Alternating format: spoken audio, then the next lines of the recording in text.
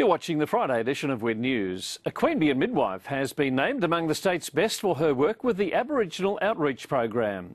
Michelle Stedman was one of 32 finalists at the New South Wales Health Excellence in Nursing and Midwifery Awards. The service that I provide uh, is an outreach service which, which links families into whatever other services they need, whether it be housing, drug and alcohol, mental health, and um, it also provides them with a birthing service and it follows them through up to eight weeks post birth. Her work drawing plenty of praise from around the community. reaching out to the Aboriginal community, delivering a service uh, that is sensitive in a way, meeting need, and, and she does it very, very well.